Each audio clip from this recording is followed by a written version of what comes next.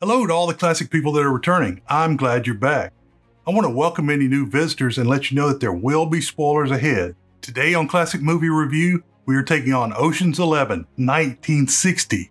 You heard that right, the 1960 film, not any of those new ones. This movie features the Rat Pack with a bunch of their associates. It has a 6.5 rating on IMDb.com. As is often seen on RottenTomatoes.com, the critics hated this movie, giving it 48% on the tomato meter and a decent audience approval of 81%. In an August 11, 1960 review, New York Times film critic Bosley Crothers takes this film way too seriously and misses the point, saying in part, quote, a surprisingly nonchalant and flippant attitude towards crime. An attitude so amoral, it roadblocks a lot of valid gags. Frank Sinatra who is the power behind the picture, should have a couple of his merit badges taken away. The idea is that a bunch of fellows, Danny Ocean's, Mr. Sinatra's, breezy gang of wartime buddies and heroes, are assembled to do a little job of robbing five major casinos in Las Vegas on New Year's Eve. They're so clever and humorous about it, and the casino people are such dopes. Well, why not? Wasn't the crime team schooled together in a lot of 82nd Airborne drops? That's the way it is. No dishonor, no moral misgivings, no sweat. Outside of the normal, natural tension that occurs while the crime is being done, this is the flaw in the picture. This and the incidental fact that a wholesome holdup of Las Vegas would not be so easy as it is made to look. For the substance is generally amusing indeed, very funny in spots, the dialogue is cleverly written, and the roles are deftly and colorfully played. Young people, are likely to find this more appropriate and bewitching than do elders. The latter are likely to feel less gleeful in the presence of heroes who rob and steal. Unquote. Well, based on the abundance of the more recent Oceans remakes and sequels, I guess he was correct that the younger set would like it more. Actors Frank Sinatra played Danny Ocean. This fascinating actor and singer was first covered in the All Aces film from Here to Eternity 1953. Crooner Dean Martin played Sam Harmon. Martin was first covered in the incredible western The Sons of Katie Elder 1965. Angie Dickinson had a small role as Beatrice Ocean, the wife of Danny Ocean. Dickinson was first covered in Cast a Giant Shadow 1966. Richard Conte played electrician and convict Anthony Bergdorf. Conte was first covered in the excellent film they came to Cordura, 1959. Akim Tamiroff, with his thick accent, played Spiro Acebos, the planner of the heist. Tamiroff was first covered in The Buccaneer, 1938. Don Red Barry was uncredited as McCoy. I never saw him. Barry was first covered in Frankenstein 1970, which oddly enough came out in 1958. Richard Boone was uncredited and unseen as the voice of the preacher. Boone was first covered in The Alamo 1960. You can stop by the store and support the channel. Get shirts like this, cups like these. Cesar Romero played a retired gangster, Duke Santos. Romero was born in New York City in 1907. His mother was a socialite and his father was a Cuban diplomat. Romero began acting on Broadway in the 1920s. This tall, handsome actor slash dancer made his film debut in 1933. The following year, he had a small part in The Thin Man 1934. Romero continued making films, but beginning in the 1950s, he spent more time working on television. Of course, he is best remembered for his role as the Joker in Batman 1966 on television.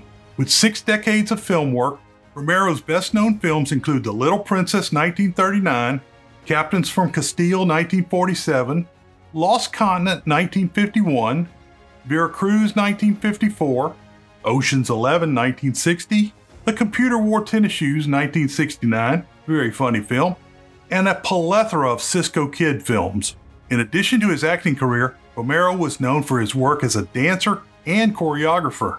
He worked with the biggest stars such as Ginger Rogers and Fred Astaire. Romero died in 1994 at the age of 86. Henry Silva played Roger Cornel. Silva was born in New York City in 1928 to Italian immigrants. Silva began acting on television in the 50s and was uncredited in his first film, Viva Zapata 1952. Over five decades, Silva has had 139 film and television appearances. His best known films include Ocean's 11 1960, The Manchurian Candidate 1960, oh my god, Megaforce 1982, Code of Silence 1985, Above the Law 1988, The End of Violence 1997, Ghost Dog The Way of the Samurai 1999. This Italian American often played Asian and Hispanic characters. Silva was also a prolific television actor. He died in 2020 at the age of 92. Sammy Davis Jr. played heistman Josh Howard. Davis was born in 1925 in New York City. His parents were vaudevillians, so by now you know he grew up performing on the stage. By age 5, Davis was already a talented tap dancer. In the 1930s, he was part of a vaudeville act. As a 17 year old, Davis entered the Army during World War II. He experienced horrible racism in the Army. He was eventually transferred to an entertainment unit where he got better treatment. Davis was in a few shorts, with his credited acting beginning in 1959. Davis was in show business for over six decades. However, he was primarily a singer and a dancer. Davis was in a lot of television shows as well. Most memorable to me is his appearance on All in the Family 1972, where he famously kissed Archie, Carroll O'Connor, on the cheek. The films Davis is most remembered for include Porgy and Bess 1959, Ocean's 11 1960, Robin and the Seven Hoods 1964, Salt and Pepper 1968, The Cannonball Run 1981, and Cannonball Run 2 1984. He was a dedicated civil rights activist. Sadly, Davis died early at the age of 64 in 1990. Peter Lawford played Jimmy Foster, a World War II veteran from the American Army with a thick English accent and an American mother. They never explained how. Lawford was born in London in 1923. His father was a renowned lawyer and World War I hero. Since his parents weren't married when Lawford was born, the family decided to immigrate to America. A childhood injury to his arm kept Lawford out of World War II. Lawford was in his first full length film in 1938. When the war began in 1940, the number of actors selecting military duty created opportunities for handsome male leads. He continued to work in small bits through the war years, including a stint as an English soldier in my beloved Sahara 1943. With a total of 122 credits, Lawford is best known for The Picture of Dorian Gray 1945, Good News 1947, Exodus 1960, Ocean's 11 1960, the Longest Day 1962, Advise and Consent 1962, and Buona Sera, Mrs. Campbell 1968. He was also very active on television. At the height of his American popularity, he married the first of his four wives, Patricia Kennedy, one of the political Kennedys. He is the uncle of reporter Maria Shriver, best known for being the wife of Arnold Schwarzenegger, who in turn got the maid pregnant. Lawford was associated with the Rat Pack, at the time led by Frank Sinatra. Remember, the Rat Pack was initially started and met at the home of Humphrey Bogart and Lauren Bacall. During the 1970s, with his career virtually over, Lawford struggled with substance abuse. He died at the early age of 61 in 1984. Don't forget to click that subscribe button, you know what to do. Story This movie begins with animated credits that introduce the actors by their numbers. This is followed by dancing dots that mix with the remaining credits. There is an excellent article about the title sequence at artofthetitle.com. You should check it out, but only after you finish listening to this show. During the Christmas season in New York City, Mushy O'Connor, Joey Bishop, enters Drucker's Hairdressers for Men. He checks under a couple of warm faced towels until he finds Spiros Acebos Akim Tamiroff. Acebos gets a call back from the Arizona operator saying that Danny Ocean Frank Sinatra, and Jimmy Foster, Peter Lawford, are not answering. In Arizona, Foster is getting a massage from a female as she fields phone calls saying that he and Danny are not in.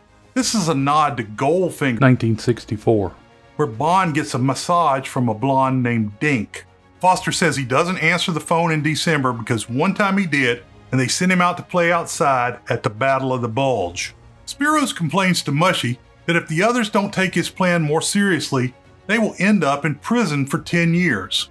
A little aside, I've seen Casino 1995, and prison is not what you get for ripping off the mob. Spiros feels he is being treated poorly despite having planned all the jobs. Back out west, Danny joins Foster and his friend, and there's a friend for Danny there now. They talk about the job in front of the two ladies. Foster tells Danny that Vince Massler, Buddy Lester, doesn't want in on the planned job. Danny throws the ladies out. He forces Foster to get up and start working. Spiros takes Mushy along to his elegant mansion. Sam Harmon, Dean Martin, is flying in from Hawaii to join the group. Mushy says Sam was in the commandos with the others and saved Danny's life. Sam is picked up at the airport by Curly Steffens, Richard Benedict. Curly is part of the group. Sam is suspicious of Spiros. Roger Cornel, Henry Silva, enters the Golden Gates appliance shop in San Francisco. He is looking for the former owner, Anthony Bergdorf, Richard Conte, whom he served with in the 82nd Airborne Division during World War II. The new owner says Bergdorf is in San Quentin. He does have the address of his wife, Mrs. Bergdorf, Jean Wills. Cornel calls Mushy and Spiros to inform them that the electrician needed for the job is in prison. Mrs. Bergdorf is working in an upscale dog grooming shop. She has an Ava Gardner look that is important to this movie's backstory, so I will discuss that in the conclusions. Cornel goes to see Mrs. Bergdorf, aka Gracie. Gracie says that Anthony will be getting out of prison early and will be released the next day. Cornel calls to let the sad Spiros know the good news. Sam and Curly arrive at Spiros' house. At a burlesque club in Phoenix, a brunette dancer is on the stage with a giant snake. I don't get it. Danny and Foster are at the bar watching. The MC, Vince Massler, introduces the next dancer, who is his wife. The music she dances to is a title song from the Tender Trap 1955, which starred Sinatra. Vince joins his friends at the bar to discuss the planned heist. Jim, if it's so foolproof, why hasn't somebody done it? Same reason nobody's gone to the moon yet. No equipment. Foster convinces him that their army training will make the job easy. Vince doesn't want to do the job because his wife is so beautiful. Just then, a drunk starts sexually heckling his wife, and Vince beats up two customers. When the manager, Al Silvani, Sinatra's bodyguard and fight trainer to the stars, and the bartender go to throw Vince out, Danny and Foster take care of them. Now that Vince doesn't have a job, he joins the operation. They give Vince a ticket and some money and tell him to report to Josh Howard, Sammy Davis Jr. Danny and Foster are still trying to locate Lewis Jackson, Clem Harvey. Spiros calls and Danny answers pretending to be Foster. Spiros rages about Danny being unreliable. Danny tells Spiros that they're going to Salt Lake City to look for Jackson. Anthony goes to a military school to see his son, as his wife will not let the newly released convict return home. The visit is short. Cornel is waiting outside for Anthony. Cornel explains that they need an electrician for the heist. Anthony balks on the job. Anthony goes to the doctor and they're looking at a chest x ray. He finds out it's the big casino and he doesn't have much time left. After this, Cornel asks him again and Anthony decides to go along. He had promised his son he would take him to a game the following weekend. In movie terms, he is doomed. See The Wild Geese 1978, for example. Mostly black workers sing and play harmonica at a garbage truck lot. As Vince arrives, Josh belts out the song EO 11, Rolling 11s and Craps. Vince talks about his fear of the job, and Josh tells about his inability to play ball after the war because of racial barriers. Josh received the Distinguished Service Medal during the war. Sam belts out the song Ain't That a Kick in the Head to a starstruck group of hotel maids. Danny's wife, Beatrice Ocean, Angie Dickinson, arrives and is shocked to see Sam. Sam had called B and told her that Danny was dying. It was the only way he could get B to come over. She doesn't want her marriage to Danny to end. Danny comes in and tries to get B to stay with him. No dice. Foster calls his mother, Miss Restus, Ilka Chase. She is wealthy and adores her son. As they say, she is also keeping time with former gangster Duke Santos, Cesar Romero. Duke is out of the life but has connections, much like the real life George Raft was reported to have. It has often been said that Raft helped gangster Bugsy Siegel get into the Flamingo Hotel. Duke says that Foster is tapping her for money. Miss Restus has picked up Duke as a boyfriend somewhere around the way. She invites Foster over to pick up the money. Sam is still worried about the project and Danny not having his head in the game because of the B issue. Foster has mother issues and can't break away from her money. Danny comes back from the bar after talking to B. Danny calls Spiros and pretends to be from the Los Angeles morgue, implying that Danny and Foster were killed in a car wreck. Danny says he is Detective Lieutenant Brannigan, using the name of a police officer in the Sinatra film Guys and Dolls 1955. Danny's girlfriend, Adele Ekstrom, Patrice Wymore, comes in and accuses him of double timing her by seeing his wife. In real life, Wymore was the widow of recently deceased actor Errol Flynn. Danny gives Adele the verbal shove off. She throws a candy dish at him and leaves. Spiros runs to a taxi to go to the morgue, but Danny, Foster, and Sam are in the taxi. The entire gang will be at Spiros' house at 9 p.m. Foster makes his appointment with his mother. He meets Duke coming down the stairs. Foster is pretty cold to Duke. He keeps poking Duke until it is sure they will be enemies. Duke gives a recitation on coming up as a criminal. He admires Foster for being in the 82nd Airborne Division. Foster gets the money and leaves. All of the robbers except Jackson have shown up. Another man, Peter Reamer, Norman Fell, has arrived, but we don't have his backstory. The men talk about what they want to do with their money. Foster talks about buying boats and going into politics. This may reference the 1960 campaign of his real life brother in law, John F. Kennedy. Jackson finally shows up and he has a cop with him. The cops were verifying that the cowboy was in the right place. Foster begins the briefing. He was a lieutenant and Danny was a sergeant during the war. The plan is to rob five Las Vegas casinos the Desert Inn, the Riviera, the Sahara, the Sands, and the Flamingo. Five of the robbers have already gotten jobs in the casinos. The robbery will take place on New Year's Eve as soon as Auld Lang Syne is sung, 1 minute and 35 seconds after midnight. Josh and Cornell will blow a high voltage tower, blacking out the Vegas Strip. Anthony is tasked with opening the teller's cages to get access to the money. The casino has auxiliary generators that come on after 20 seconds. The plan is for Anthony to cross the wires, and when the generators kick on, they will open the cage doors. Josh is responsible for getting the money out of the city. Spiros gives the group of veterans a rousing speech. Sam wants out because it has been 15 years since the war. He finally decides to go along. The gang will go to Las Vegas in two days. Josh is working on a garbage truck to help case the casinos. Cornell spreads infrared paint to guide the paths when the lights are out. Special glasses are required to see the prints. Sammy Davis Jr., who stood only 5 feet 5 inches tall, had to wear blocks on his shoes to reach the pedals of the garbage truck. Anthony checks the circuit breakers in each casino with the help of the inside man. Comedian Red Skelton cuts off Danny as he tries in vain to get the cashier to take his check after he has previously threatened the cashier if he took another of his checks. The guards escort the man out. Sam plays in one of the casinos to a group of adoring women as the others continue to set up the robbery. The group takes a break and goes bowling. Anthony will need almost two hours to rig the circuit breakers. They go over the job and assign someone to blow the tower. Adele shows up at one of the casinos and confronts Danny. He sweet talks her and leaves her a key to his room. Adele immediately calls B and tells her Danny is running around with other women. B tells her to get lost. Revelers crowd the casinos on New Year's Eve. Josh and Pete place the time delayed explosives on the power transmission tower. Happy New Year! Happy New Year. Come on, let's go. Anthony is going casino to casino to fix the circuit boxes. At the Flamingo are Mrs. Restus, Duke, Adele, and her grouchy date. Foster has told his mother that he is in Squaw Valley skiing, but Adele informs her that he is at the casino with Danny Ocean.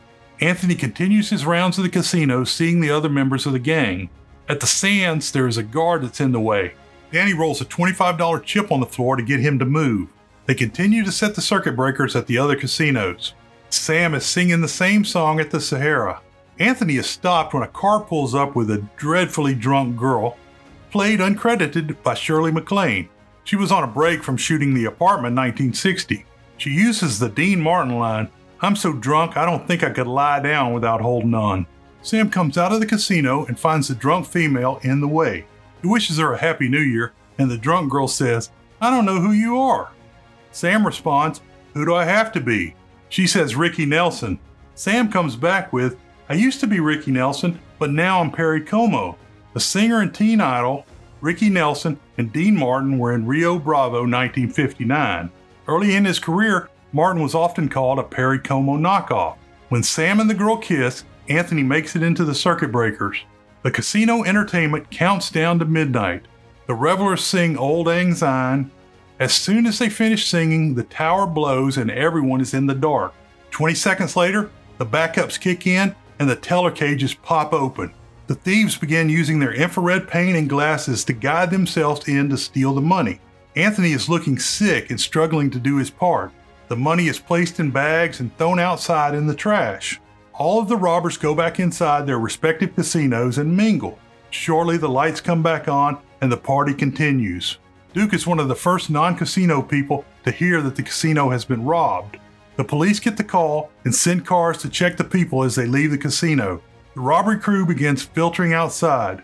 The police lock down all of the exits. Anthony is walking across the street and falls dead from a heart attack. Later, Josh drives a garbage truck to each casino and picks up the bags of money out of the trash. The trash truck is let through the roadblock because of its smell. Josh hides all of the money at the dump. Spiros is happy when he reads in the newspaper about the heist going off without a hitch. In a great cameo, George Raft appears as casino manager Jack Strager. He meets with the other owners slash managers and talks about the pressure they are getting from their partners. Read the Mafia. All five men agree that they can make a settlement deal. Duke comes to the meeting and says he can use his connections to determine who pulled off the robbery. Duke will settle for 30% of all the money. All the owners and managers agree. The sheriff gets a report on Anthony and finds out that he received a Silver Star during the war. Strager calls the sheriff and asks him to cooperate with Duke.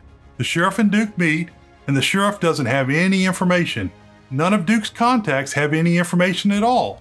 The sheriff's department calls saying they have contacted Anthony's wife, who has not seen him since he went to prison. She does plan on having the body shipped to San Francisco. The sheriff tells Duke that Anthony was in the 82nd Airborne Division during World War II. Duke goes to the mortuary and gives the funeral director a large sum of money to let him know if anyone is interested in Anthony's body. Mrs. Restes meets with Duke and she makes a call to her son Foster. She says Danny is in town with some other guys from the 82nd. Duke makes the connection and knows who pulled the crime. Duke tells Restus that Foster and his friends pulled the job. Sweetheart, this job was cooked up by Jimmy and his soldier boy pals. Oh, well, well, that's ridiculous. Jimmy's always had all the money he could spend. Why, why would he rob anyone? Hitler had Europe. Why did he want Russia too? Duke goes to meet with Danny and Sam. He reveals that he knows that they pulled the job. Duke asks for half the money. Duke gives the crew until 1 p.m. the next day to give him an answer.